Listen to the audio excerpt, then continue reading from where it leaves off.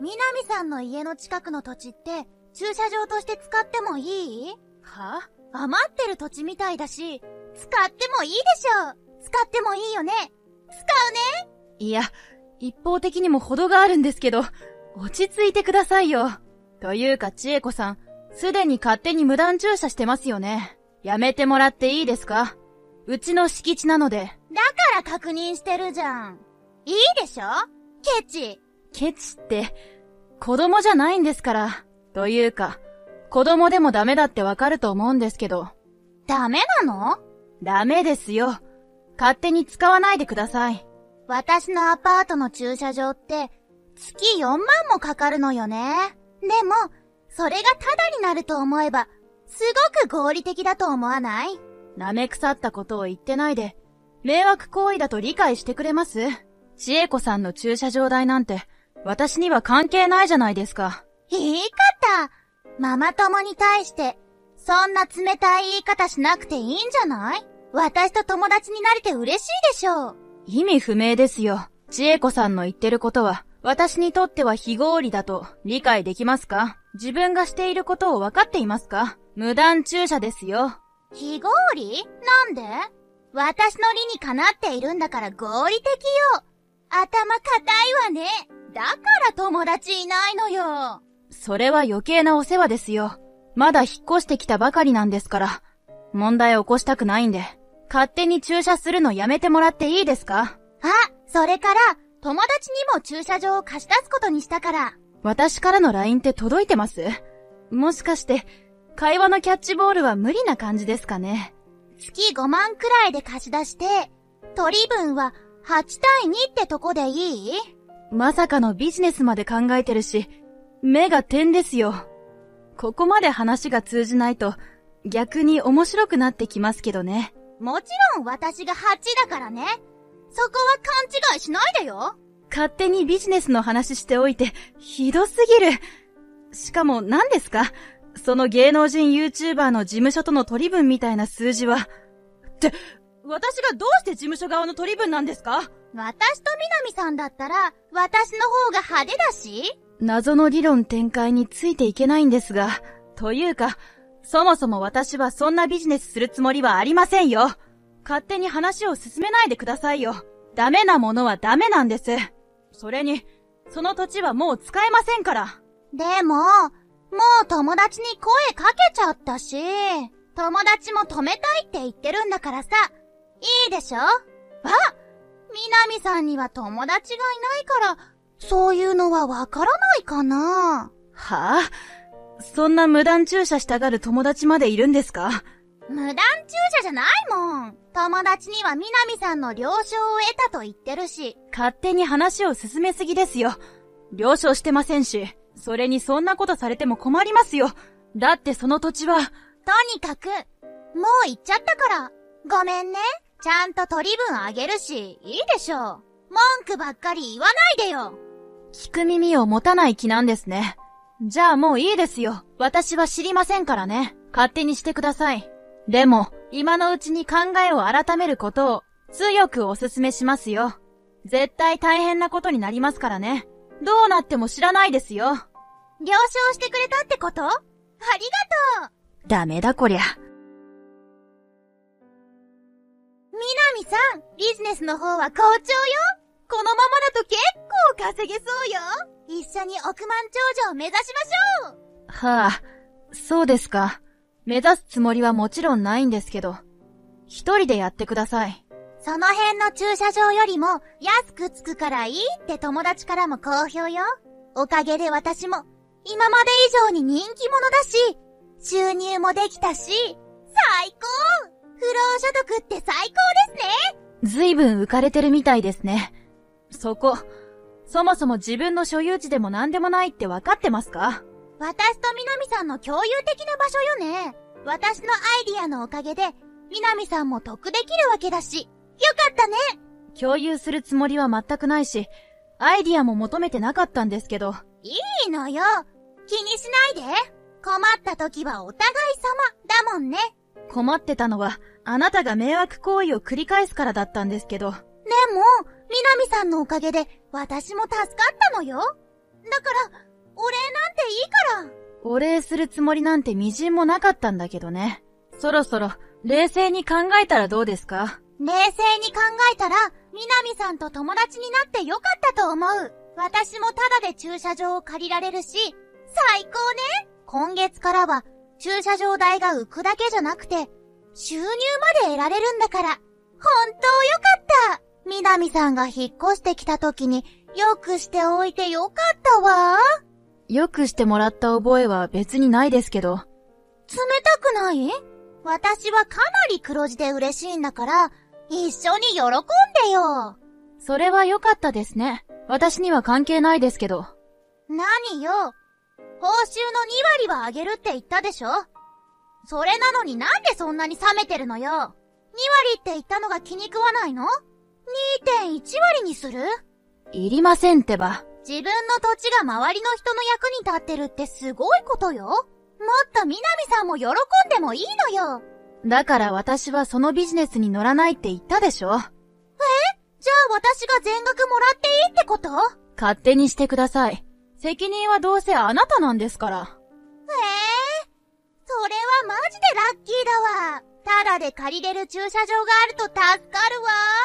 友人たちにも紹介してあげたら喜んでたわよ。その駐車場売却したけど、どういうこと？もうその土地は売却済みだって言ったんですよ。だから、まあ最初からそうだったけど、今度こそ本当に違法駐車よ。いやいや、冗談でしょ？こんな冗談言うキャラじゃないし、暇でもないです。じゃあ、本当に売ったの？なんで？もともとおじから譲り受けた土地だったけど、活用する前にあなたに悪用されてるし、これ以上の面倒は避けたかったので、売却しました。本気で？何勝手なことしてるのよ？ビジネスの話はどうなるの？勝手なのは千恵子さんでしょ。私はこの前、土地が売れたことを言おうとしたけど、千恵子さんが話を聞かずに勝手に話を進めただけだし、ありえないんだけど、なんでちゃんと言わないの？っていうか、売却とか無理だからね。もう友達にも貸し出したんだから、そんな勝手なことはダメ。ダメと言われても、ダメに決まってるでしょ？もうアパートの友達も止めちゃってるし、そんなの、私だけじゃなくて、友達も許さないわよ。そもそも、前からずっと勝手に所有地を使われてたんですよ。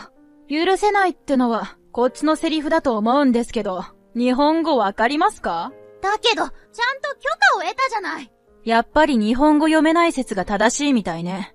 私、一度も許可した覚えないし、むしろずっとやめてって言ってましたよね。そんなの知らないじゃあ読み返せよ。まあ、私の思う正しい合理的な処置は、法的措置をすることだったけど、それをしなかっただけありがたいと思ってほしいですね。法的措置って、さすがに大げさすぎるでしょ。そうですかね。私の優しさですよ。千恵子さん、これから、違反駐車場代の請求もあるだろうし、お友達も事情分かってなかったみたいだから、すべての責任は千恵子さんでしょじゃあ、お友達の車と合わせて、違反駐車の罰金払わないといけないだろうし、せめてものお情けですよ。罰金？ちゃんと看板立ってましたよね。所有者さんが看板立ててたのに、完全に無視してたでしょ。だって、あんなの、みなみさんの悪あがきだと思って。悪あがきって、私が建てたものじゃないですよ。先月からあの土地は、もう私のものじゃなくなってたし、看板に罰金は、1台1日5万って記載してたよね。え？千恵子さん、何台止めてたっけ？結構止めてたよね。今のところは、うちの車以外に5台だけど、もう数日勝手に使ってましたよね。かなりの高額罰金になりそうだね。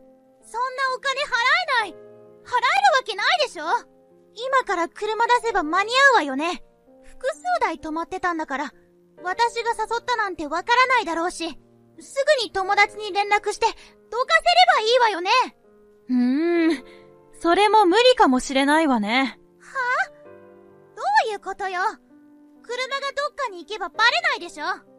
もう一週間くらい無断駐車が続いてたから、管理者の人も痺れを切らしたみたいね。え？さっき気になって見てみたら、新しい所有者の方が施錠してたから、それは無理かもね。施錠？嘘でしょ？これからは夜間の閉鎖時間は施錠するし、無許可の駐車があれば、すぐにレッカー、警察にも連絡するって言ってましたよ。え？じゃあ今、施錠されてるってこと？だからそう言ってるじゃないですか。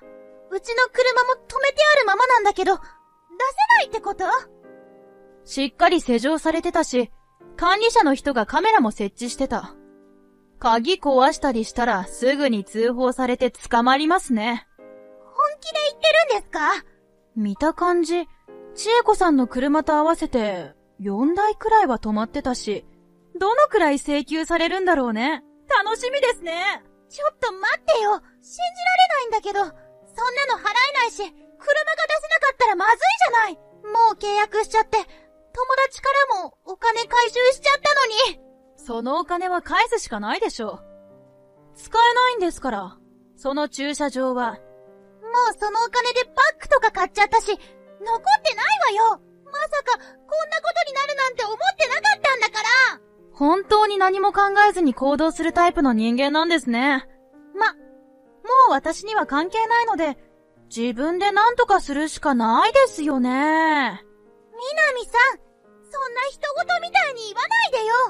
もともとはみなみさんの所有地だったでしょ私たち、ママ友なんだからさ、新しい管理人さんに言ってよ。ちょっと誤解があったみたいだって。私がそれを言うメリットは？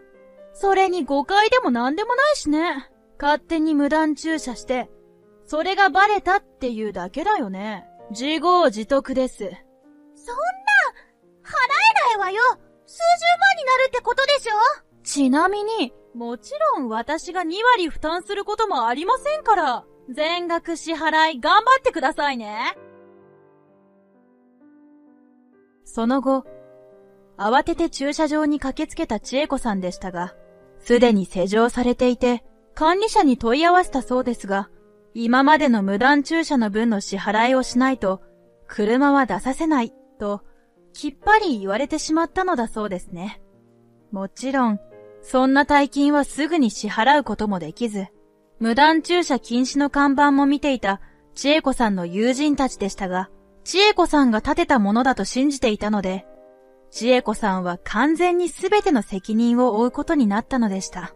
もちろん、当然のことですけどね。友人たちにブチギレられ、さらに千恵子さんが止めていた車は、旦那さんが仕事で使う車だったらしく、車が出せなくて、出張に遅刻してしまった旦那さんは大激怒。